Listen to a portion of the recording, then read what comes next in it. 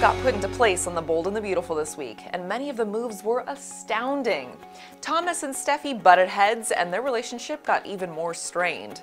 Speaking of relationships, the one between Ridge and Quinn grew more complex even after they reached an agreement. The Spectras made their own plays on the game board, but the battle is only just beginning. Here are the spoilers. Quinn and Ridge share another kiss, this time during Ridge's own engagement party.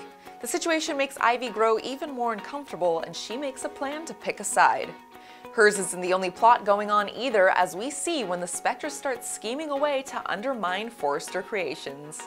We're in for a wild week, and it looks like a lambast is looming. We'll definitely want to watch, but for now, fans, it's your turn. Last week, we debuted our Fan Theories Forum, in which soap opera watchers had the chance to share their ideas for how certain storylines might progress. We've had an amazing amount of fun reading and discussing your thoughts, and now we want to offer you a special incentive. If you have a theory about what might happen on your favorite daytime drama, just send a message to news at soapshows.com and tell us what you're thinking. People whose submissions are picked will not only have their ideas read on the show, they'll also receive an exclusive prize. Is a secret relationship about to start? Maybe an old character will come back from the dead.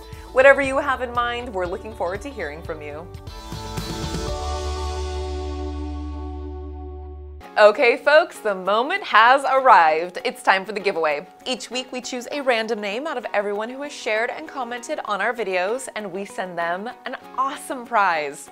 Today's lucky winner is Cheryl Arsenault. Congratulations, Cheryl! To see what you've won, let's take a spin on the prize wheel. Here we go. Okay, keep your fingers crossed. Whatever it is you want to win, well, it's to be great either way, but You've won an official t-shirt! Congratulations, Cheryl. We will get that right out to you. For everyone else, don't worry, you can still win. Just leave a comment on this video, share it on Facebook, then tune in next week to see if we pick your name. That's all for this week, fans. But as always, if you want more from your favorite soap operas, sign up for our free newsletter. It's full of exclusive spoilers, members only prizes, and behind the scenes stories that you won't find anywhere else. Also, remember that you can always reach us at news at soapshows.com, either to join in on Fan Theories Forum or just to say hello. I'm Tiffany Hegebo, and I'll see you next time.